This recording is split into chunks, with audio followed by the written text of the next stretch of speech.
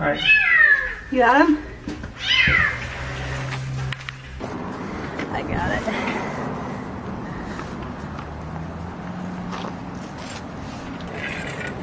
Good job, Ryan.